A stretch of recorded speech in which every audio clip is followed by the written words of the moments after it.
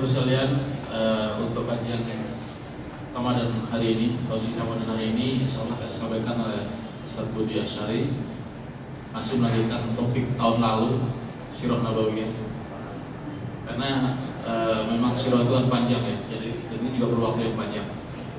Uh, untuk mempersingkat waktu, langsung saja Ustaz nanti uh, sampai jam 1 kurang 10 atau 12.50 nanti ada sesi tanya jawab 10 menit. Waktu dan tempat bersilakan.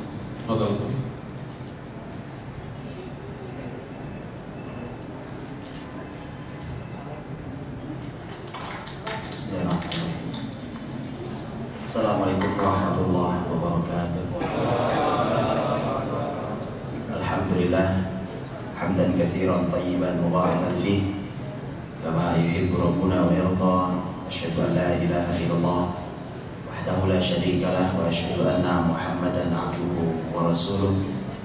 Allahumma salli wa sallim wa barik wa an'im ala sayyidina Muhammadin wa ala alihi wa sahbihi ajma'in ya ayyuhalladzina amanu taqullaha haqqa tuqatih wa la tamutunna illa wa antum muslimun amma ba'd Saudara-saudariku mukminin mukminat, soimin dan soimat yang dirahmati Allah Subhanahu wa taala. Mudah-mudahan Allah terima hingga hari ini seluruh amal ibadah kebaikan kita dilipat gandakan kebaikan yang mampu kita laksanakan. Mari kita terus syukuri karena tanpa izin Allah kita tidak bisa melakukan semua amal kebaikan itu. Karena Rasul mengajari sebuah kalimat kalau kalian dapat nikmat kata Nabi ucapkan alhamdulillahilladzi bi ni'matihi tatimmus shalihat. Segala puji bagi Allah yang dengan nikmatnya sempurnalah semua kesolehan kita. Karena tanpa nikmat Allah maka kita tidak bisa melaksanakan semua kebaikan ini. Saya sering bagian dari mati Allah Subhanahu wa taala. Kalau melanjutkan materi tahun lalu, saya tahun lalu pun sudah lupa materi ini.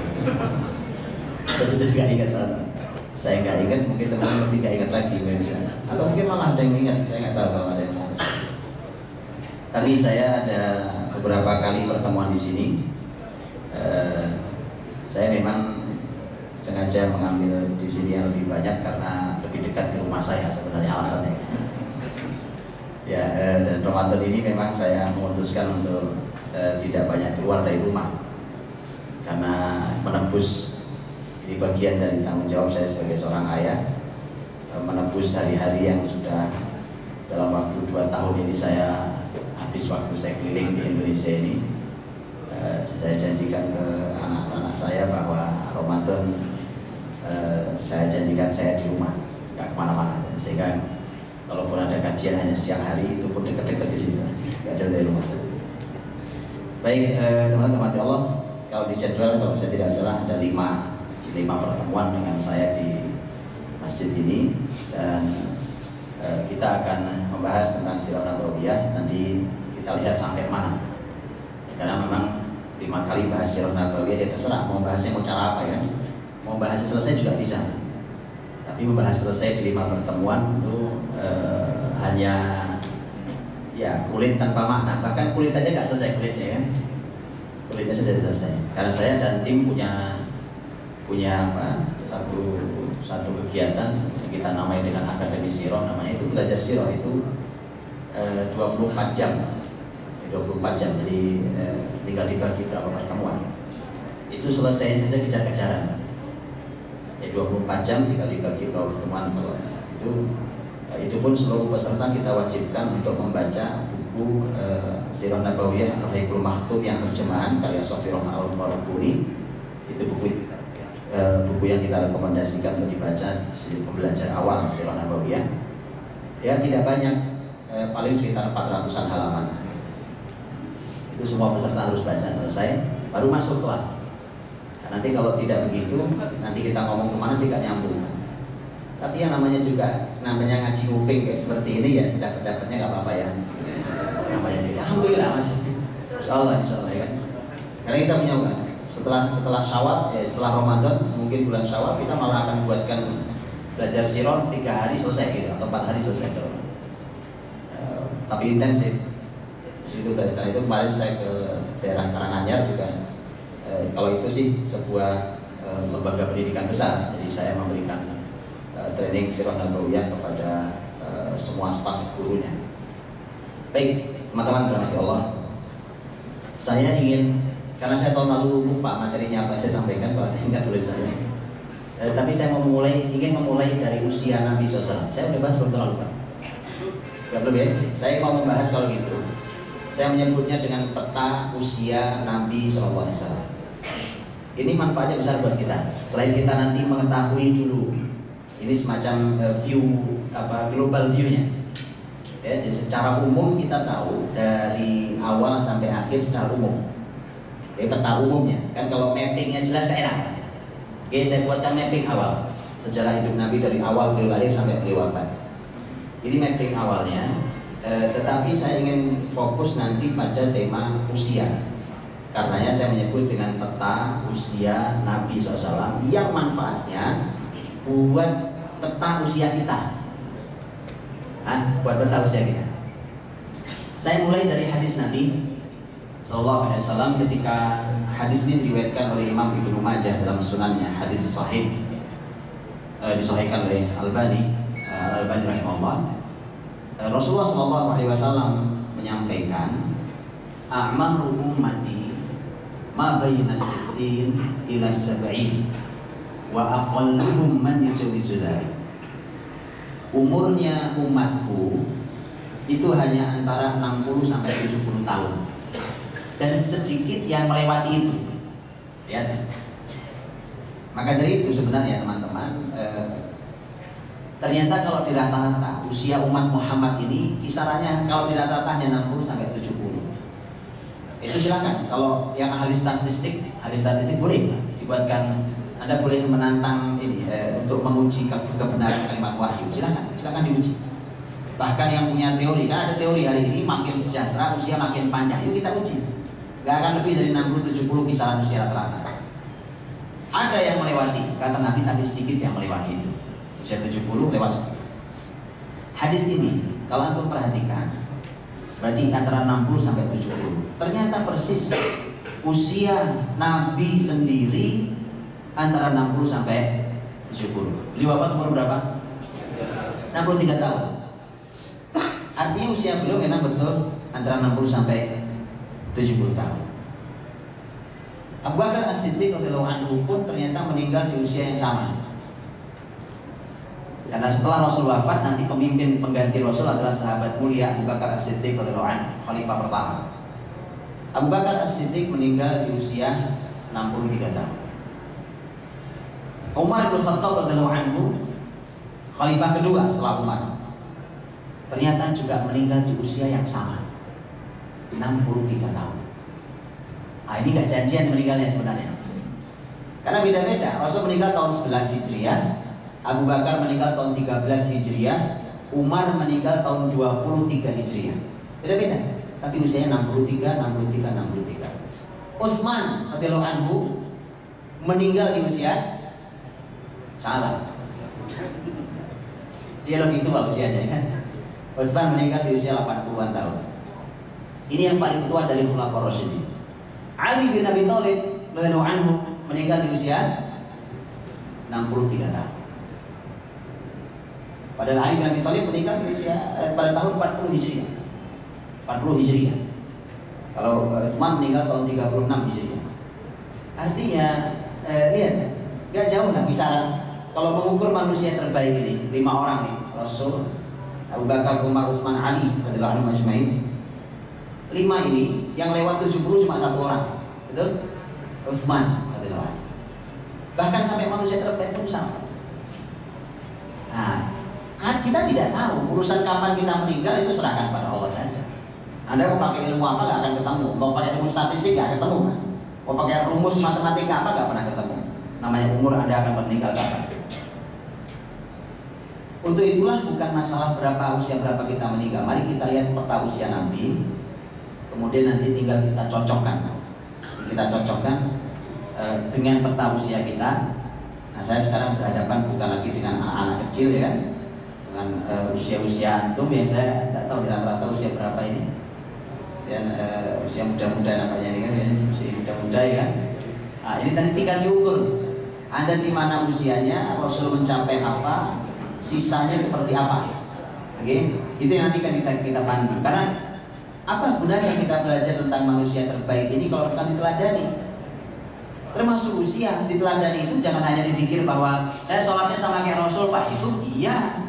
Saya puasa zakat haji sama kayak Rasul iya tetapi bukan hanya itu kehidupan Nabi SAW itu teladan Nabi itu diamnya bicaranya senangnya marahnya semua diteladankan anda ingin tahu kalau Rasul marah kayak apa?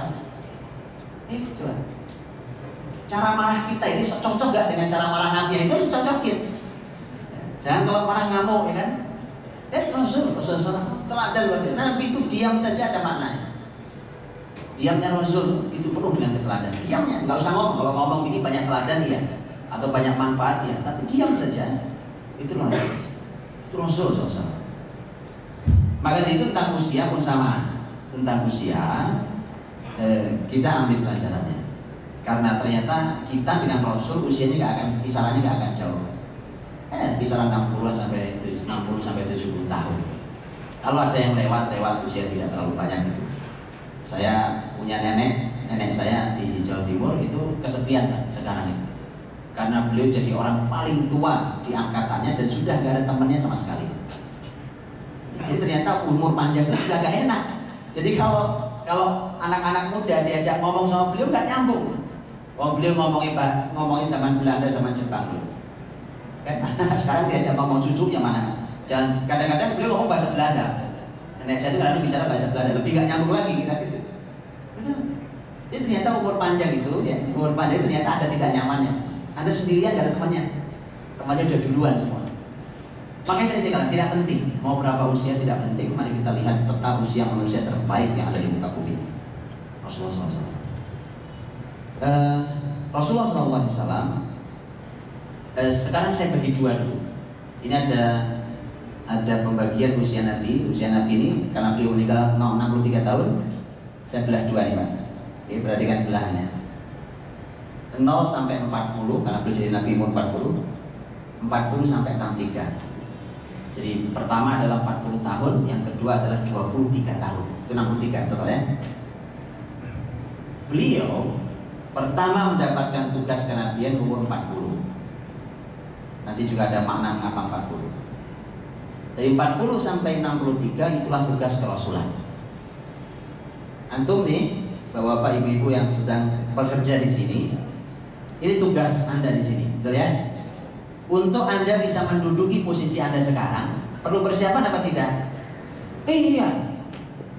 Bagaimana Anda duduk di posisi sekarang, sementara Anda tidak cukup kemampuannya, kapasitasnya? untuk sampai di kemampuan Anda ini itu perlu persiapan sebelumnya. Betul ya? Yang minimal-minimalnya kalau ukurannya ukuran sekolah mungkin dari mulai TK, SD, SMP, SMA, kuliah, S1, nggak cukup S1, S2, mungkin S3. Itu rangkaiannya persiapan untuk menduduki posisi Anda hari ini. Tidak ada tugas di muka bumi ini yang lebih besar dan lebih berat dari tugas kenabian. Tidak ada tugas di muka bumi ini yang lebih berat dan lebih besar dari tugas kenabian. Ya, kalau cuma jadi dirun itu nggak ada apa-apanya.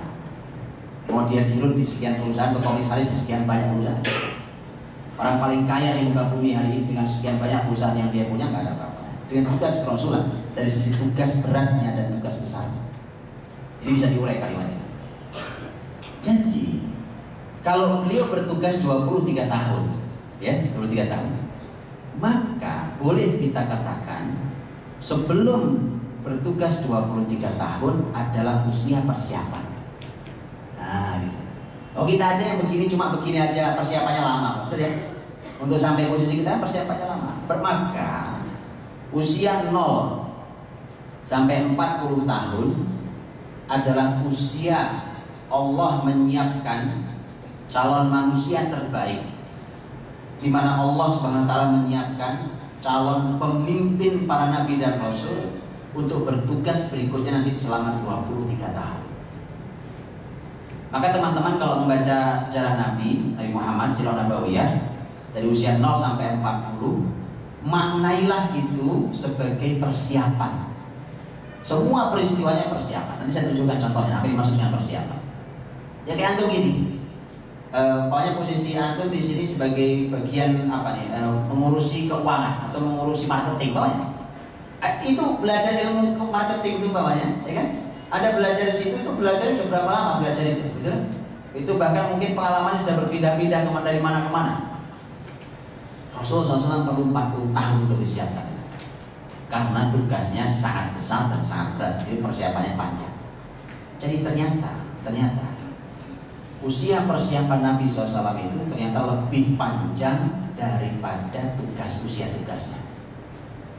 Usia persiapan beliau lebih panjang daripada usia tugas. Ini pelajaran mahal bahwa kita ini terkadang harus sabar ketika sedang menyiapkan diri. Kita ini sering tidak sabar. Kita pengennya kalau lagi menyiapkan diri, lagi belajar, lagi pengennya segera kerja akhirnya ilmunya mentah ya, ilmunya nanggung tidak jadi begitu kerja juga serba nanggung ini masalah di kita bukan tidak boleh orang kerja tapi tadi bahwa kadang-kadang kita tidak cukup kesabaran saat usia persiapan kita ingin segera memetik hasilnya anda tahu e, buah yang segera dipetik hasilnya dia tidak dia tidak matang di pohon dia apain supaya matang ini Mana yang lebih nikmat? Pasti. Pasti. Berbeda. Berbeda sekali kualitas. Faktornya adalah kita ingin segera memetik hasil. Memang betul, ada memetik duluan. Tapi begitu diadu di lapangan, begitu yang satu sudah matang di pohon itu, oh, jauh. Secara harga juga berbeda. Karena di faktornya kita tidak sabar di usia persiapan. Sebelum saya lanjutkan, eh, nanti begini, kita kita ada yang sudah berkeluarga, ada yang sudah punya anak, eh, ada yang masih belum menikah, ya kan? Kelihatannya ada yang belum menikah juga di sini. Eh, kelihatan muka-muka yang belum menikah ya. Eh, jadi nanti saya berharap begini, kalau nanti saya bercerita, berkisah tentang peta usia Nabi, kemudian merasa, wah itu udah kelewat usia saya.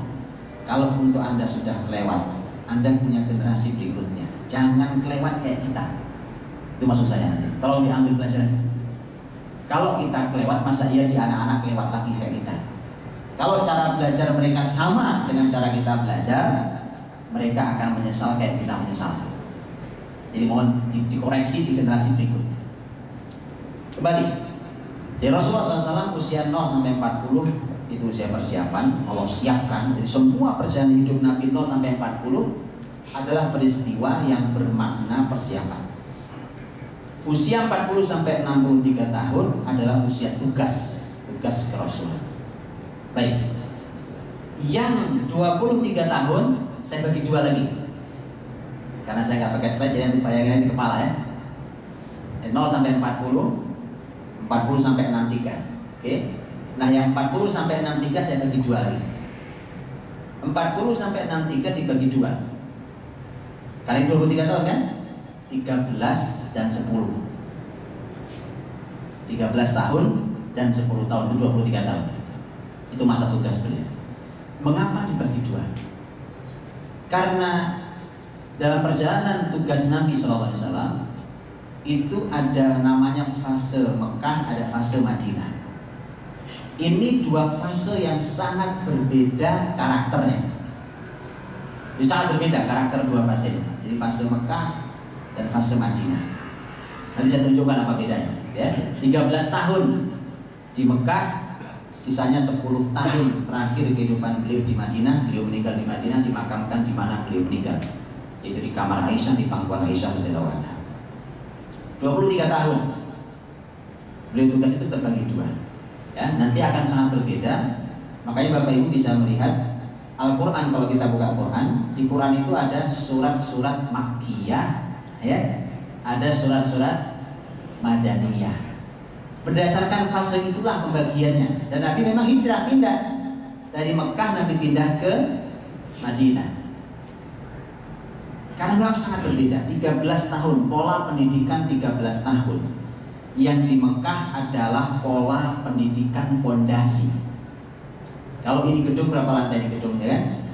Gedung-gedung yang menjulang tinggi berlantai-lantai itu itu harus mulai dari pondasi yang benar.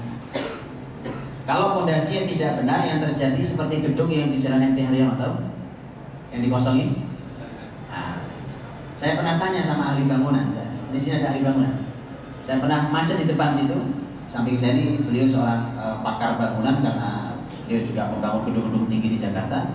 Saya tanya, Mas, ini gedung kenapa kosong? ini miring Ustaz. Waktu itu macet, ini miring. Lihat Ustaz, itu. Itu miring sekian derajat.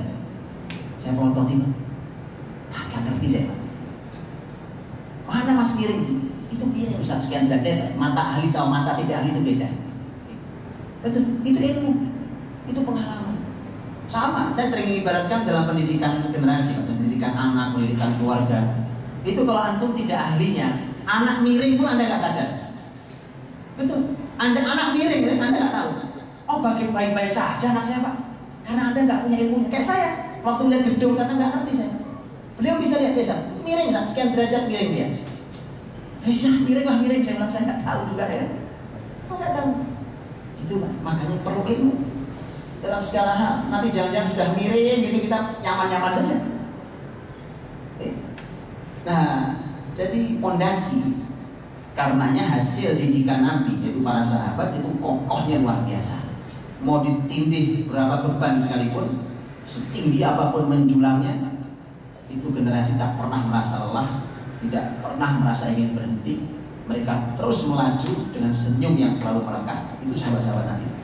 Anda bayangkan, ya, Anda kalau kecapean kan mukanya nggak bisa dilihat ya, kusut gak karuan. Sahabat Nabi, subhanallah, kerjaan kita nggak ada apa-apanya. Apa sih apa sih susahnya kerjaan kita hari ini? Wallah kalau antum baca sirah nabawiyah, kita tahu pekerjaan kita nggak ada apa-apanya di. Betul. Allah baca sirah nabawiyah. Anda akan tahu. Anda akan tahu betapa kerjaan kita terlalu kecil.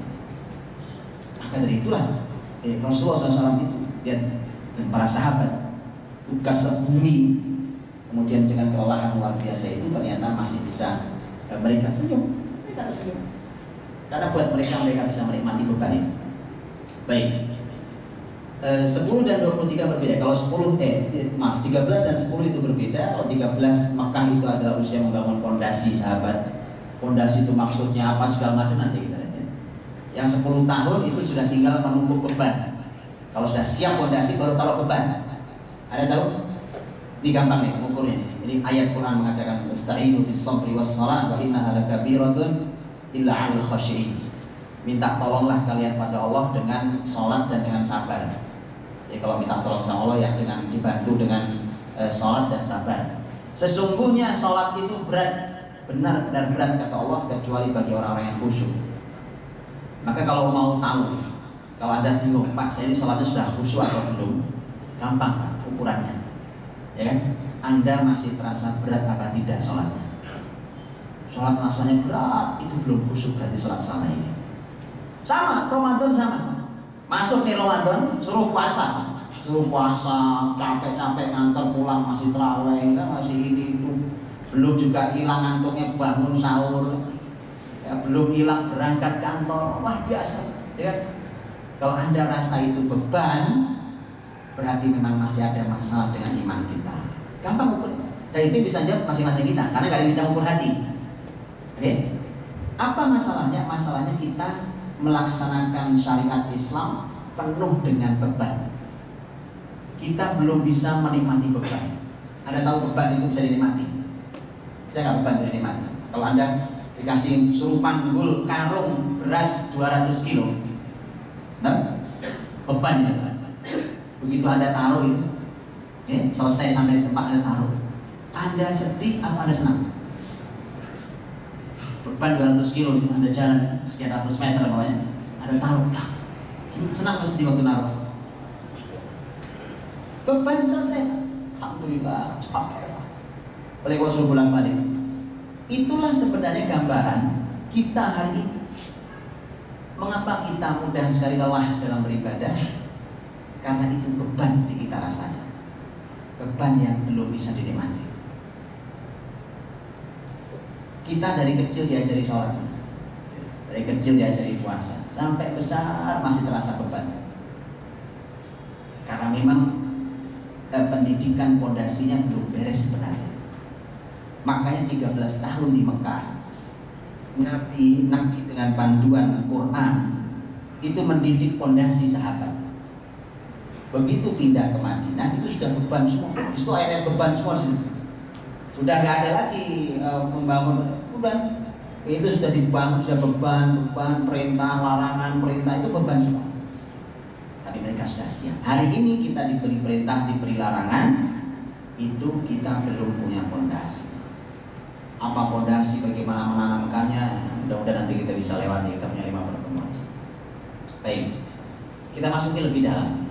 Ini tadi baru global ya. Kita masuki lebih dalam. Waktu saya masih ada? Masih ada 10 menit lagi uh, ketika kita melihat usia 0 sampai 40 tahun tadi kita kembali ke usia persiapan.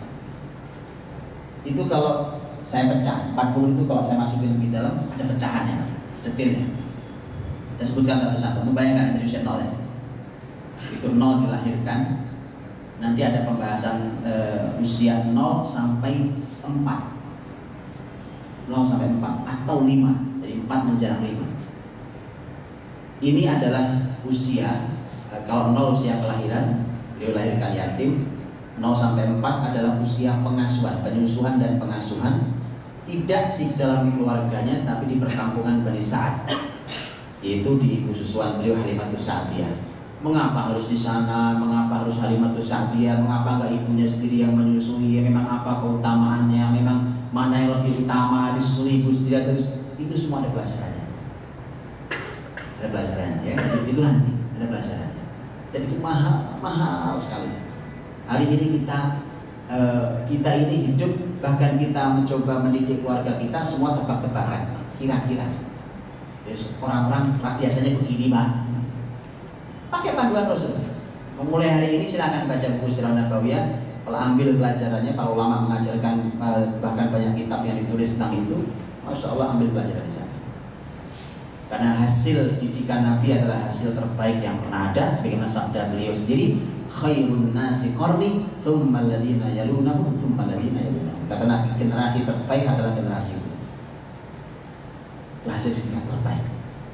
Kemudian setelahnya, kemudian setelahnya uh, usia 0 sampai 4 adalah usia pengasuhan di perkampungan Bani Sa'ad. Kampung Bani Sa'ad itu dari dari Mekah, karena wilayah di Mekah ya. Itu 170 kilo jaraknya. Kurang lebih 170 kilo. Bayangkan anak masih merah, bayi merah dibawa perjalanan 170 kilo. Pernah bayang? 170 kilo dididik di perkampungan Bani Sa'ad. Ini semua adalah semua keinginan Allah Subhanahu wa taala untuk menyiapkan calon manusia terbaik itu.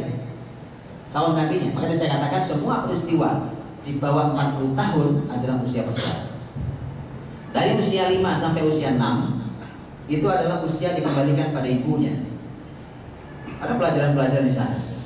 5 sampai 6 bersama ibunya. Hanya setahun bersama ibunya, ibunya meninggal. Jadi persis usia 6 tahun, 6 tahun kalau kita usia SD kelas 1 ya, SD kelas 1 persis itu usia Nabi Muhammad yatim piatu. Bapaknya sudah meninggal, ibunya pun meninggal di usia 6 tahun.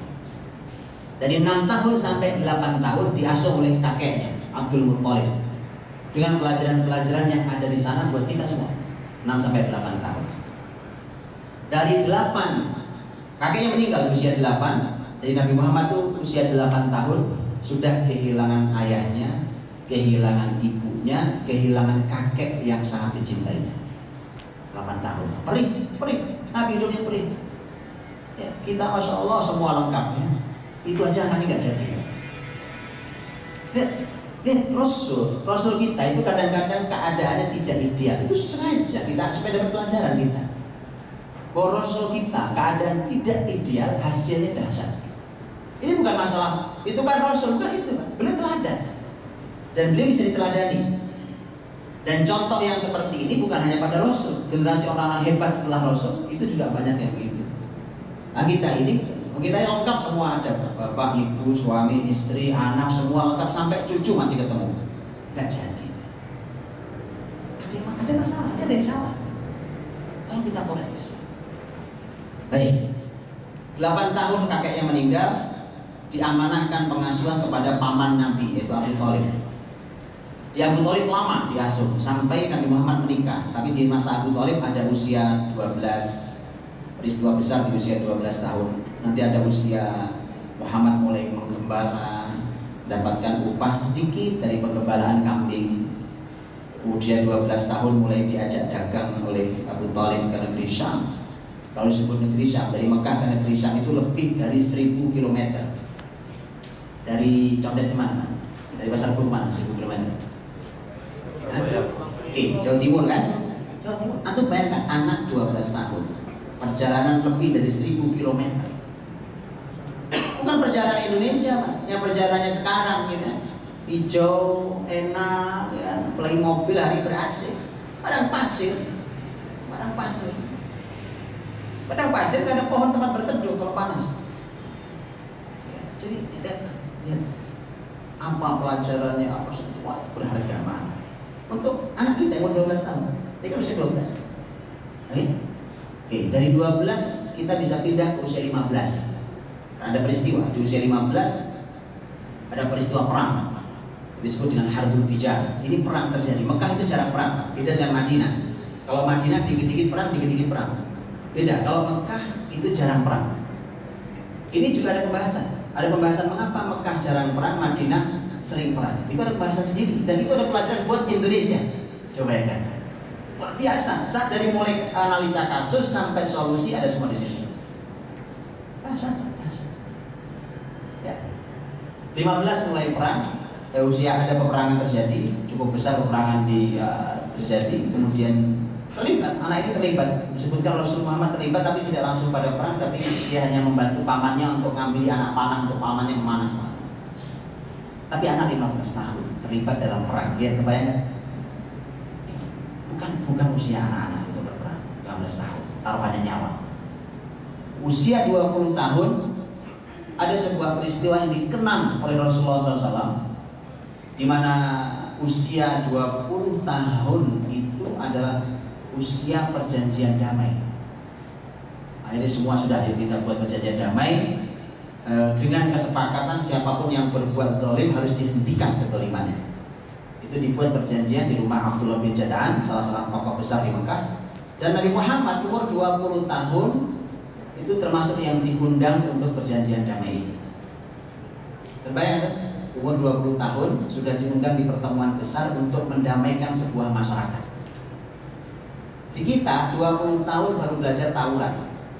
Bayang? Ya kan? Ini yang tawuran, yang kayak enggak ya. 20 tahun, 20 tahun Nabi. Makanya Nabi kenal betul. Kata Nabi kalau saya sekarang saat jadi Rasul diundang lagi untuk acara perdamaian seperti itu maka pasti akan saya datang. Saya pasti akan datang. Itu bukti bahwa Islam senang dengan perdamaian. Tapi tidak menghilangkan saya jihad. Saya perang, perang juga perang. Tapi urusan damai Nabi sangat suka. Lebih suka damai. Siapa yang orang suka perang. Quran bahkan mengatakan perang itu kalian gak suka tapi wajib buat kalian. Coba ya kan. Gimana? Mau kita gak suka diwajibkan. Quran bicara kutiba alaikumul qitalu wa huwa kurhul lakum. Quran bicara soal Baqarah. Diwajibkan pada kalian perang. Jadi kalau memang sudah tiba masa perang wajib perang. Itu ada ada syaratnya, ada aturannya, ada fikirnya itu ya nggak boleh sembarang. Padahal kalian tidak suka dengan perang itu. Ya nggak suka, siapa yang dari kita yang mau perang? Kita nggak mau perang, kita semua berharap damai itu. 20 tahun, 25 tahun beliau nikah. nikah yang pertama 25 tahun pernikahan setelah sudah mandiri segalanya termasuk perekonomian eh, kemudian membangun rumah tangga yang sangat membahagiakan dan tak pernah ada duanya rumah tangga Nabi dengan Khadijah tidak pernah tidak pernah ada istri yang bisa menggantikan kebaikan kebaikan Khadijah radhiyallahu anha 35 tahun Nabi SAW adalah tokoh di masyarakat termasuk 35 kan masih cukup muda ya ada 35 tahun di sini kan? Ya. Seusia anda yang 35 Nabi adalah tokoh pemersatu masyarakat ya. Dan orang yang bisa merekat seluruh elemen masyarakat yang kalau beliau bicara semua sepakat. Hebat 35 tahun oke 35 tahun memasuki setelah usia 35 beliau mulai gelisah masa eksistensi itu setelah itu mulai gelisah. Kenapa gelisah? Karena Nabi melihat kehidupan masyarakat yang kacau balau jahiliyah dari sisi akidah, ibadah, akhlak kacau balau itu. Kata beliau ini bukan bukan kebenaran. Tapi Nabi juga tidak tahu. Tapi yang benar yang mana? Yang benar yang mana? Gak ada bimbingannya.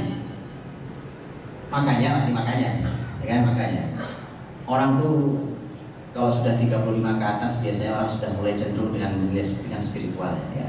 Orang gagah-gagahan dengan gaya petetan, petetan itu di bawah 35 biasanya. Habis itu Anda tahu hidup yang sesungguhnya. Makanya jangan nyesel.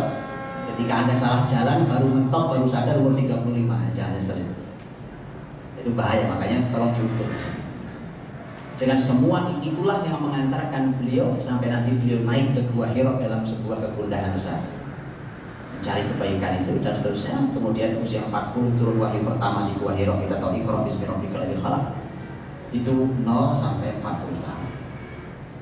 Baik. Oke.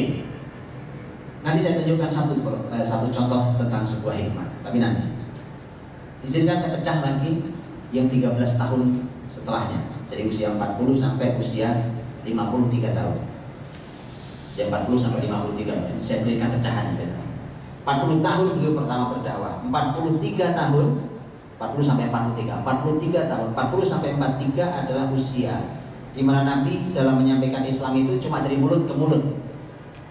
Didatangi temannya, didatangi anak angkatnya, didatangi ini, didatangi pokoknya tidak ada dakwah terbuka kayak begini nggak ada. Itu, itu tiga tahun lamanya 43 sampai usia beliau 50 tahun, jadi 43 sampai 50, itu usia Nabi berdakwah terbuka, menghadapi berbagai macam gangguan, caci maki, intimidasi, bahkan ada sahabat-sahabat Nabi yang meninggal. Ada sahabat Nabi yang jadi korban sampai meninggal di usia itu. Tekanan luar biasa, luar biasa tekanan itu. Di situlah diuji semua kesabaran itu. Sementara muslimin waktu di masa tahun-tahun itu itu seperti apa pun kejahatan mereka tidak boleh membalas. Muslimin tidak boleh membalas itu perintah Quran. Rasulullah pun mengalami sama, cuma Rasul lebih ringan. Kenapa ringan? Karena Nabi berasal dari nasab mulia, nasab terhormat, sehingga tidak ada yang berani mengganggu Nabi Muhammad. Dikarenakan Nabi Muhammad keluarga besarnya, keluarga Bani Hashim, adalah keluarga paling terhormat di masyarakat Mekah. Jadi kalau diganggu Muhammadnya, semua keluarga besarnya marah, walaupun mereka banyak yang belum beriman. Satu-satunya yang menjadi musuh dari keluarga beliau dari Bani Hashim, satu-satunya hanya Abu Lahab. Tabbat yada Abi Lahabi wa Hanya Abu Lahab satu-satunya. Kalau Abu Jahal itu Quraisy tapi bukan dari Bani Hashim, dari Bani Makhzum. Eh, sampai itu panjang 43 sampai 50 tahun kesabaran yang luar biasa. Yang itu dilalui banyak peristiwa. Nabi tawarkan Islam dari suku ke suku, dari masyarakat ke masyarakat, dari kumpulan ke kumpulan dan seterusnya. Sampai di usia beliau 50 tahun adalah uh, usia 47 sampai 50 adalah puncak kejahatan Quraisy. Di mana terjadi pemboikotan yang sangat jahat. Kalau hari ini pemboikotan terjadi itu paling hanya pemboikotan ekonomi, senjata, paling itu kan? Bayangkan, pemboikotan zaman Nabi bukan cuma itu, ekonomi iya ya, bukan cuma itu. Yang sudah eh, yang sudah saling lamaran sekalipun harus putus. Umpamanya ada dari eh, suku Quraisy yang lain, kemudian sudah terjadi lamar melamar dengan keluarga besar Nabi, itu harus putus. Itu kesepakatan pemboikotan, nggak boleh menikah dengan keluarga Nabi SAW, juga dengan muslimin. Jangan itu, duduk bersama ngobrol. Kalau ketahuan itu akan ditangkap. Tidak boleh berbicara dengan mereka. Ada pemboikotan sampai sejahat itu. Bicara aja tidak boleh. Masuk ke rumahnya nggak boleh. Masuk ke rumahnya nggak boleh. Wah biasa. Nggak ada pemboikotan hari ini sedahsyat itu. Maka dari itulah cobaan Nabi SAW itu besarnya luar biasa. Uh, sampai usia 50 tahun, tiga tahun lamanya pemboikotan itu sampai usia 50 tahun, 50 tahun uh, justru ketika berakhir pemboikotan malah disebut sebagai tahun kesedihan.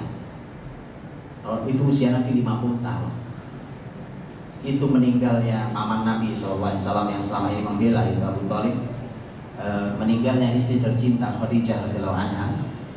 Jadi Rasul nikah dengan Khadijah rumah tangga berapa tahun? Hah? 25 tahun.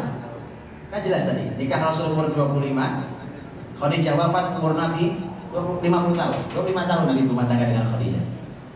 E, tahun kesedihan itu Bahkan Nabi coba dakwah ke Taif sampai Taif. Ada yang pernah ke Taif? Dari Mekah ke Taif itu kurang lebih 70 kilo. 70 kilo jalan kaki. Naik gunung. Hanya berdua bersama anak angkatnya Zaid bin Harithah. Belajar sirah itu sebenarnya enaknya dicoba. Betul lah, saya udah bilang ke teman-teman, kita coba. Kalau kita coba Anda akan rasakan betapa dahsyatnya Rasul kita. Jalan kaki dari sini sampai Cianjur 70 kilo atau sampai betul ya? Kapan mau? Nah, janjian boleh kita janjian kapan jalan kaki. Biar aku merasakan. Sampai di sana dilempari orang. Rasul dilempari orang, kita disambut orang. Kan harus beda ceritanya. Subhanallah. Subhanallah, Rasul. Asyad. Ya, makanya saya, saya katakan, belajar baca sirah nabawiyah. Apa yang kita lakukan hari ini tak ada apa-apa. Supaya kita terus berupaya lebih baik, itu maksudnya. Oke, bukan untuk memutus, tapi supaya lebih baik, lebih baik, lebih baik. Oh, belum ada apa-apanya. Bandingkan dengan sahabat, belum ada apa-apanya, apalagi dengan Rasul. Oke, usia 50 tahun, habis betul? Oh, habis betul. Usia 50 tahun, eh, 53 tahun beliau hijrah. Menyiapkan Madinah itu tiga tahun lamanya. Ini juga hebat. Bagaimana Nabi menyiapkan sebuah kota sampai siap dihijrahi itu tidak perlu pergi ke Madinah. Atau perusahaan ini kalau mau buka cabang, mesti ada orang yang diutus untuk ngecek daerah. Nabi nggak perlu ke Madinah. Nabi nggak perlu ke Madinah untuk menyiapkan Madinah. Gimana caranya baca sirah nabawiyah? Itu itu manajemen terdahsyat yang ada. Eh, iya. Bagaimana ceritanya? Menyiapkan kota bukan bangun pabrik. Mohon maaf maka kecil menyiapkan kota. Bukan bangun pabrik menyiapkan kota satu kota di sana. 53 beliau hijrah.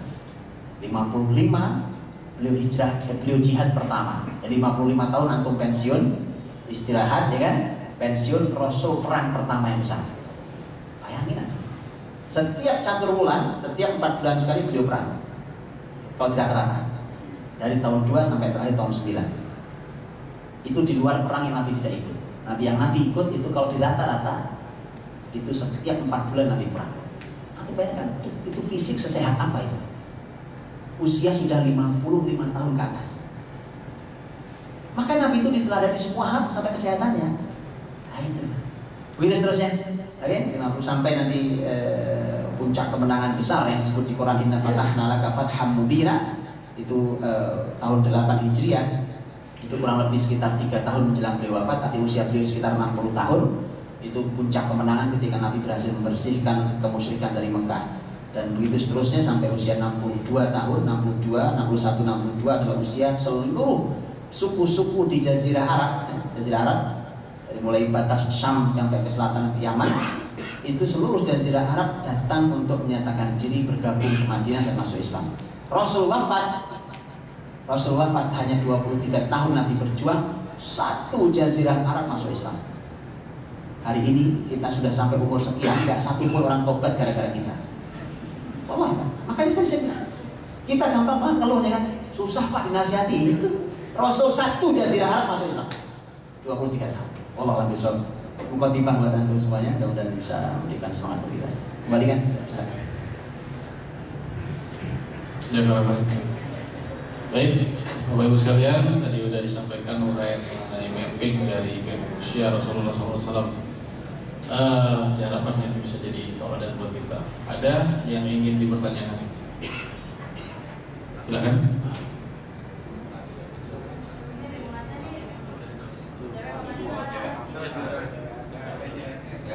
Silakan Bu. Pak Yaida. Yaida wali. Dari bawah.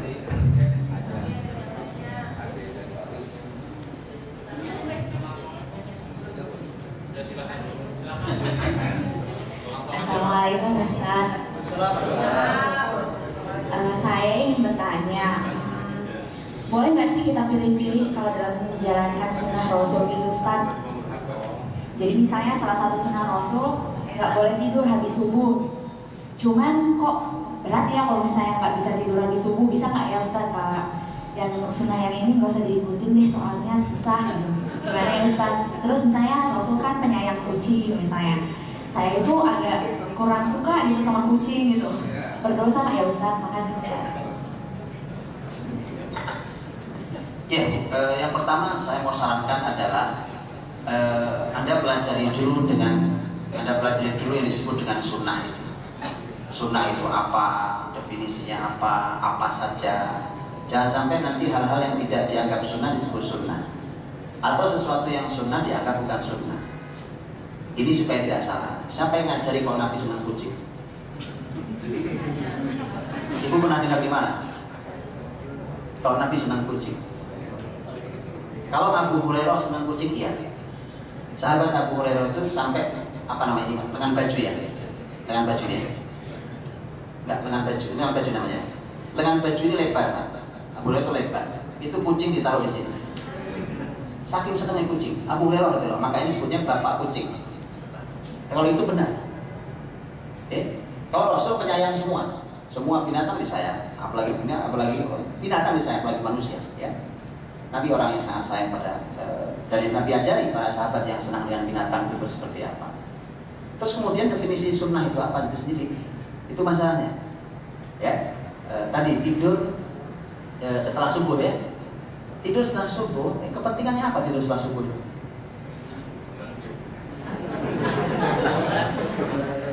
Lihat kan, saya bukannya pernah bicara tentang manajemen ini, eh, apa namanya, eh, keseharian Nabi di sini pernah. Kalau malu saya bicara juga, enggak bukan ya? Nah, bukan ya? Sudah lupa, sudah lupa. saya juga lupa, saya sama jadi lupa. Subhanallah. Tadi saya katakan teman-teman dirahmati Allah. Orang prestasi kayak tadi saya katakan prestasi orang manusia sebesar Nabi itu hanya dengan 63 tahun atau melihat kalau nggak mau Nabi lihat sahabat deh manusia biasa sama Nabi Nabi juga manusia biasa cuma kita sering kali bilang itu Nabi ya.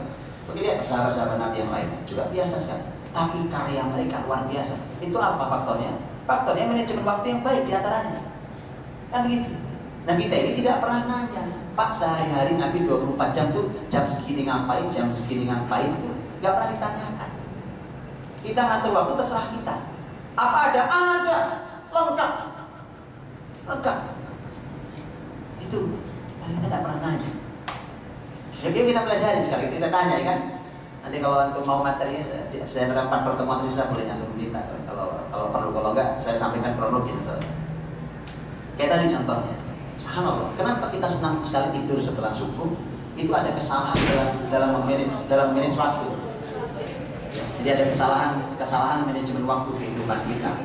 Efek resikonya tadi akhirnya pada waktu-waktu yang tidak harusnya tidur kemudian kita tidur. Waktu yang harusnya tidur kita belum tidur. Fatal masalahnya. Itu anda mau analisa dari sisi kesehatan, sisi apa pun semua bermasalah.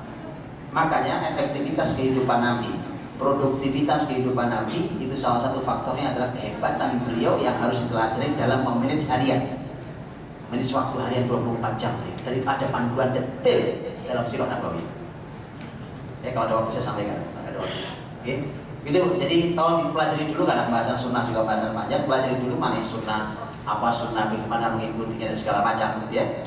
E, tolong dipelajari betul supaya kita tidak salah dalam meniru mana yang harus ditiru. Mana yang ditiru itu memang syariat mana yang ditiru itu adalah kebaikan tapi dia bukan syariat.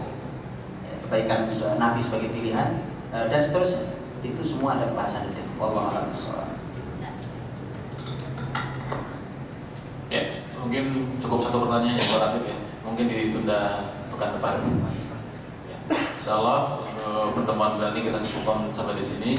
Eh, semoga kita bisa meneladani, kita bisa melihat diri kita dari mapping-mapping usia Rasulullah sehingga kita bisa menilai kita di mana sekarang. Gitu. Insya Allah semoga bermanfaat.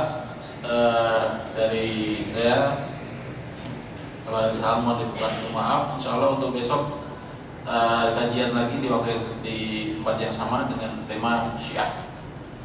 Ya, oke itu aja dari kita, dari kami. Uh, sebelumnya kita ditutup dengan doa ya, Ustaz. Assalamualaikum warahmatullahi wabarakatuh. Baik kita tutup dengan doa mudah Allah berkahi hari-hari kita Allah terima amal ibadah kita dan Allah berikan kita cahaya untuk membimbing diri kita dan keluarga kita semua. Allahumma salli wa sallim wa barik ala Muhammad wa ala alihi wa sahbihi ajma'in. والحمد لله رب العالمين. حمدا يوافي نعمه ويكافئ مزيدا يا ربنا لك الحمد ولك الشكر كما ينبغي لجلال وجهك الكريم وعظيم سلطانك. ربنا تقبل منا إنك أنت السميع العليم. وتب علينا إنك أنت التواب الرحيم. ربنا هب لنا من أزواجنا وذرياتنا قرة أعين. واجعلنا للمتقين إماما. اللهم اجعلنا مقيم الصلاة. ومن ذريتنا ربنا وتقبل دعاء. ربنا لا تزغ قلوبنا بعد إذ هديتنا. وهب لنا من لدنك رحمة إنك أنت الوهاب. ربنا آتنا في الدنيا حسنة وفي الآخرة حسنة وقنا عذاب النار. سبحان ربك رب العزة عما يصفون. وسلام على المرسلين والحمد لله رب العالمين. سبحان الله وبحمده أشهد أن لا